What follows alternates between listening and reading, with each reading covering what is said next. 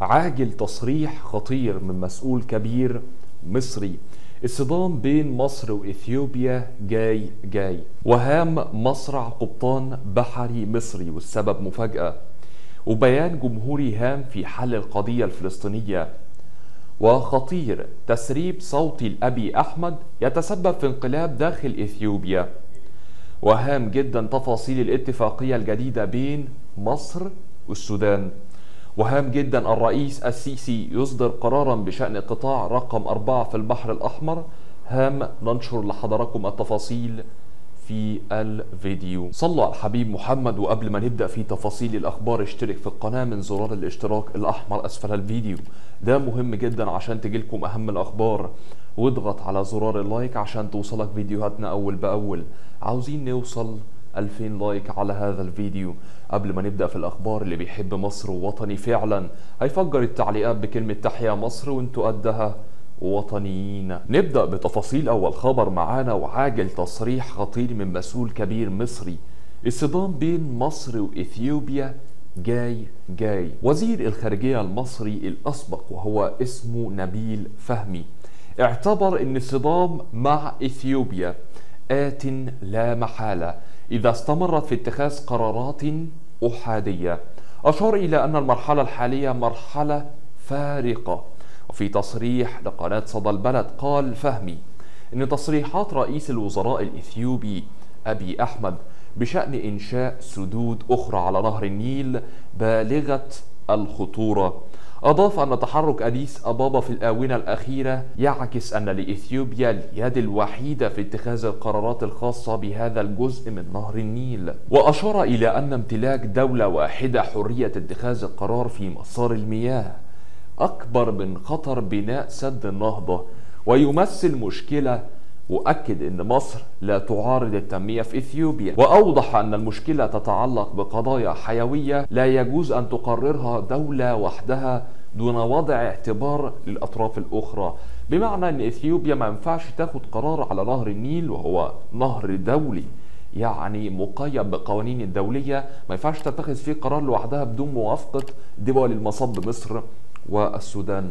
أوضح أن المشكلة تتعلق بقضايا حيوية لا يجوز أن تقررها دولة وحدها دون وضع اعتبار للأطراف الأخرى. وتابع وقال إن المرحلة الحالية مرحلة فارقة إما نتحول تجاه مفاوضات جادة حتى الوصول إلى اتفاق إما نجد أنفسنا أمام طريق مسدود إما السياسة أو المواجهة لا خيار ثالث. وأشار إلى عدم وجود فرص كثيرة لتغيير الموقف الإثيوبي في المرحلة الحالية وخاصة مع اقتراب زمن الملء الثاني لسد النهضة. أضاف أن مصر ستتحرك سياسيا بنشاط خاصة على المستوى الرئاسي. لفت إلى أن التحرك الرئاسي المصري يحمل رسائل عدة لإفريقيا والمجتمع الدولي بأن القضية محورية وهامة.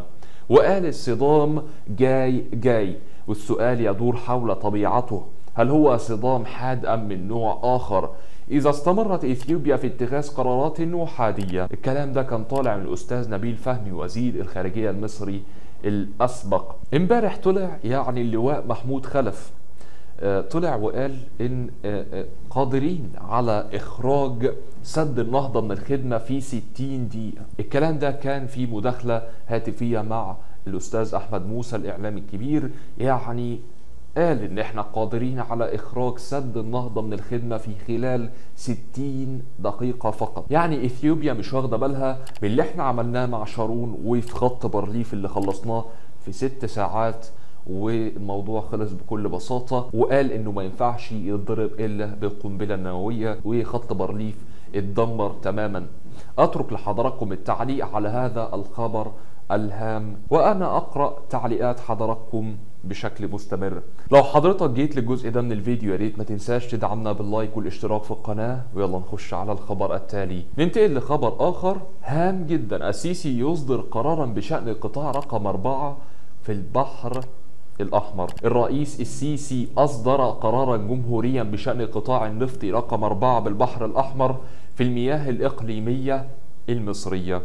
الرئيس السيسي أصدر قانون رقم 160 لسنة 2020 بالترخيص لوزير البترول والثروة المعدنية في التعاقد مع شركة جنوب الوادي المصرية قابضة للبترول وشركة شيل اكسبلوريشن and Production 93 BV وشركة مبادلة بتروليوم بلوك البحر الأحمر 4 القابضة ذات نطاق محدود المحدودة. شركة ثروة البترول شين ميم ميم للبحث عن البترول واستغلاله في القطاع رقم 4 بالبحر الأحمر بجمهورية مصر العربية وقد تتجاوز الاحتياطات الجديدة من الغاز الطبيعي التي اكتشفتها مصر مؤخرا في حدودها المائية في شرق البحر المتوسط وشمال البحر الأحمر بعد اتفاقيات ترسيم الحدود التي أبرمتها مع كافة الدول مؤخرا. وآخرها اتفاقية تيران وصنافير قد تتجاوز 400 تريليون قدم مكعب مقسمة على 200 تريليون قدم مكعب في شرق الأبيض المتوسط وما يماثلها تقريبا في شمال البحر الأحمر. مصدر معنا كان من صحيفة اليوم السابع. أترك لحضراتكم التعليق على هذا الخبر الهام. ننتقل لخبر آخر. معانا وبيان جمهوري هام في حل القضية الفلسطينية. وجهت مصر دعوة عاجلة للأمناء العاملين للفصائل الفلسطينية للاجتماع الأسبوعي المقبل في مصر. برعاية الرئيس عبد الفتاح السيسي ونظيره الفلسطيني محمود عباس. ووفقا لموقع صحيفة الأهرام المصرية وقناة إكسترا نيوز يهدف الاجتماع للاتفاق على رؤية موحدة الخطوات اللازمة لإنهاء الانقسام ووضع خارطة طريق للمرحلة المقبلة ورؤية موحدة للتحرك الوطني الفلسطيني. الرئيس عبد الفتاح السيسي كان قد أكد أن مصر بتبذل جهدا كبيرا لتثبيت وقف إطلاق النار في غزة شدد على ضرورة إنهاء الانقسام الفلسطيني والتوحد تحت مظلة منظمة التحرير الفلسطيني. وكالة الشرق الأوسط المصرية أفادت إن الرئيس السيسي قال في تصريحات نقلها وزير المخابرات المصري اللواء عباس كامل خلال زيارته الاثنين إلى غزة ولقائه مع قادة الفصائل الفلسطينية في القطاع. إن مصر تقوم بجهد كبير من أجل تثبيت التهدئة والعمل على إفساح المجال للعودة إلى العملية السلمية بالتعاون مع القوى الدولية وعلى رأسها الولايات المتحدة وجه الدعوة إلى كل القوى الإقليمية والدولية لدعم جهود مصر لإعادة الإعمار في قطاع غزة. الرئيس السيسي أكد حسب الوكالة على ضرورة توحيد الجبهة الداخلية الفلسطينية تحت مظلة منظمة التحرير شدد على الدعم المصري الكامل للشعب الفلسطيني وقادته. كما لفت أن مصر تتمسك بإنجاز المصالحة الفلسطينية في أقرب وقت. أشار الرئيس السيسي إلى أهمية إنهاء الانقسام الفلسطيني شدد على ضرورة إيصال المساعدات الإنسانية إلى المواطنين في قطاع غزة. المصدر معنا كامل الأهرام تنويها صغيرا على هذا الخبر إن مصر دولة أفعال ليست دولة أقوال. يعني إحنا عارفين إن في ناس كتير اتكلمت وقالت هنعمل ومش هنعمل ولكن ما عملوش أي حاجة. مصر هي اللي اتحركت ومصر هي اللي قامت بفعل كل شيء. ننتقل لخبر آخر وخطير.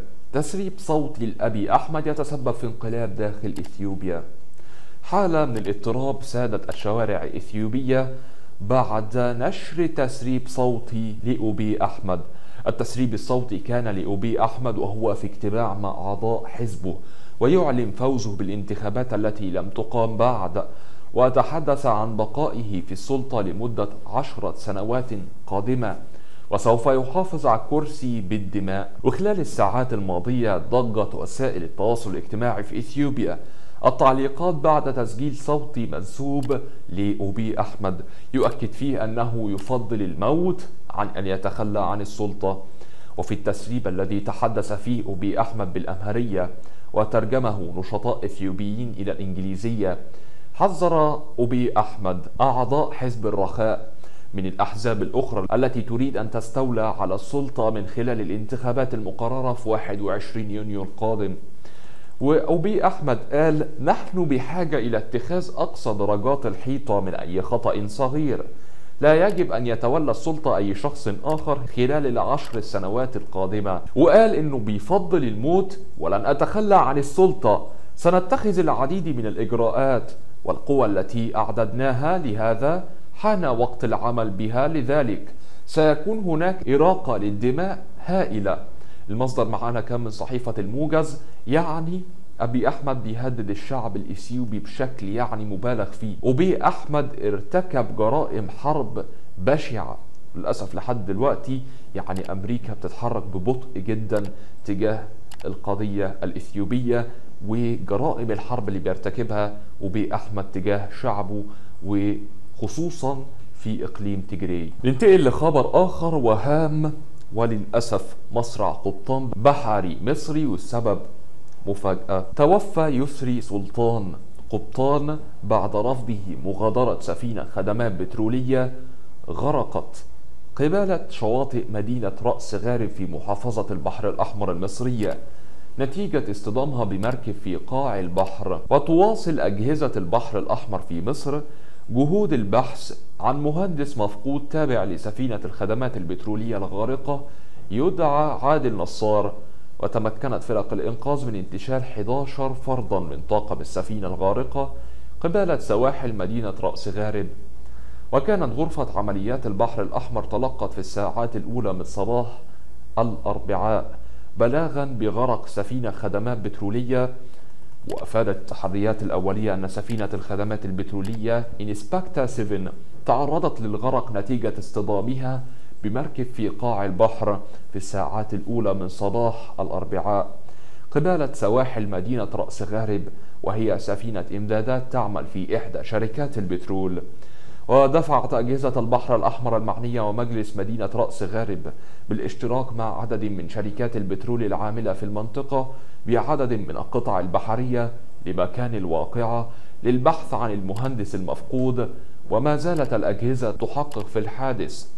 مصدر معانا كان من RT ربنا يرحم يا رب. الناس اللي توفوا بسبب هذا الحادث ويصبر أهاليهم بإذن الله. ننتقل لخبر آخر وهام جدا تفاصيل الاتفاقية الجديدة بين مصر والسودان. التقى الدكتور مصطفى مدبولي رئيس مجلس الوزراء المهندس هاشم حسب الرسول وزير الاتصالات والتحول الرقمي السوداني. وذلك بحضور الدكتور عمرو طلعت وزير الاتصالات وتكنولوجيا المعلومات والسفير السوداني بمصر. محمد إلياس حيث رحب رئيس الوزراء بالأشقاء السودانيين وبعث رسالة تحية لنظيره السوداني الدكتور عبد الله حمدوك. أكد ترحيبه بكل أوجه التعاون بين مصر والسودان. المهندس عمرو طلعت شرح خلال اللقاء أوجه التعاون المشترك بين مصر والسودان في قطاع الاتصالات وتكنولوجيا المعلومات ونقل التجربة المصرية في التحول الرقمي للأشقاء في السودان. وكذا توفير التدريب اللازم في هذا القطاع. وبعد اللقاء شهد رئيس الوزراء مراسم توقيع مذكرة تفاهم بين حكومة جمهورية مصر العربية ممثلة في وزارة الاتصالات وتكنولوجيا المعلومات وحكومة جمهورية السودان ممثلة في وزارة الاتصالات والتحول الرقمي بهدف إرساء ودعم التعاون الثنائي المثمر والوثيق من خلال تبادل الخبرات في مجال تكنولوجيا المعلومات والاتصالات. وقام بالتوقيع الدكتور عمرو طلعت وزير الاتصالات وتكنولوجيا المعلومات من الجانب المصري. والمهندس هاشم حسب الرسول وزير الاتصالات والتحول الرقمي من الجانب السوداني. وبعد توقيع مذكرة التفاهم أكد الجانبان أن هذا الاتفاق يأتي انطلاقا من العلاقات الأخوية المتميزة بين مصر والسودان والرغبة في تطوير العلاقات وتعزيز روابط وأواصر التعاون بين الشعبين الشقيقين المصري والسوداني وإيمانا بأهمية دور الاتصالات وتكنولوجيا المعلومات والبريد في تحقيق التنمية الشاملة بالبلدين. المصدر معانا كان من صحيفة الموجز نتمنى الخير إن شاء الله بإذن الله لمصر والسودان.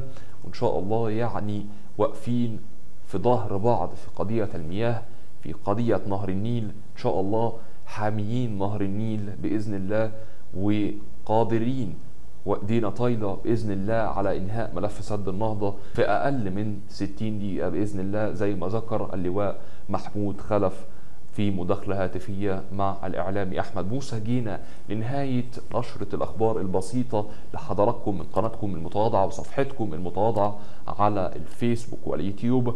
كان معكم العبد الله الفقير إسلام الأمير وكان معنا يعني كورولوس المسؤول عن الإعداد وابانوب المسؤول عن المونتاج. تحية كبيرة ليهم لأنهم يعني بيتعبوا معانا جدا. والسلام عليكم ورحمة الله تعالى وبركاته.